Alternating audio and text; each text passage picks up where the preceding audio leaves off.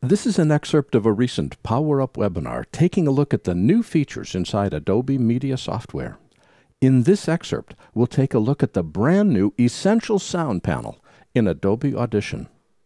Next, just as they put the Lumetri color panel into Premiere to allow us to make easier adjustments to color, Audition now adds the Essential Sound panel, which simplifies mixing and cleaning up audio not by replacing the audio filters that were already in Audition, but by adding an easy to use interface. So even if you don't understand how audio filters work, you can still make your audio sound better.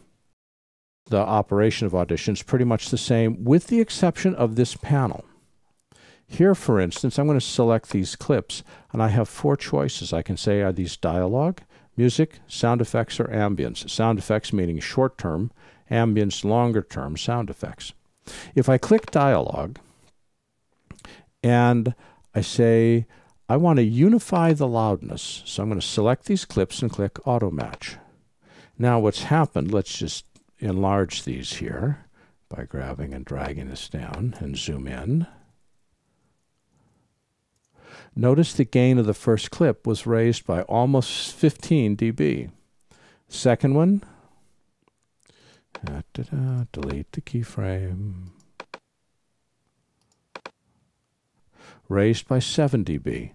Third one by 5.5 dB. Each of these clips has been raised by different amounts such that the level of Dr. Surf's voice sounds consistent across all the clips. If we needed to repair the sound, then we click on Repair Sound. We can reduce noise, we can reduce rumble, we can remove hum. Now let's say that I just check these. If I select a clip and look over in the Clip Effects panel, notice that it's added adaptive noise reduction. Uncheck it, that filter goes away. I want to reduce the noise. Uncheck it.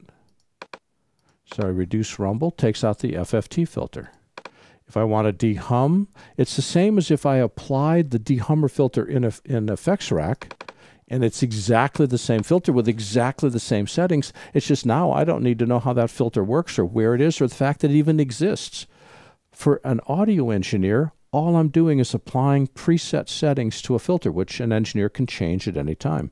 For somebody that doesn't even understand how the audio filters work, they can still make their audio sound better without having to understand all the different filters and filter settings. This makes the power of the filters inside Audition, which are amazing, a whole lot more accessible. We can also apply clarity, which is EQ. We can do some creative things like apply reverb. We can even do some basic limiting and compression. The Essential Sound Panel is a huge benefit for making audio sound better without requiring you to be an audio engineer. This has been an excerpt of a recent Power Up webinar taking a look at the new features inside Adobe Media Software. For the complete version of this training, please visit my store at larryjordan.com slash store and look for Webinar 198. By the way, membership is a great value. If you need to stretch your training dollars, a subscription membership to our video training library saves you money.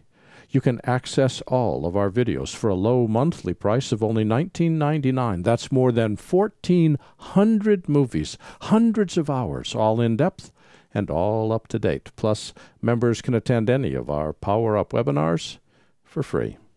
Our training covers Apple and Adobe software. We update it every week, and for more information, visit larryjordan.com slash membership. And thanks.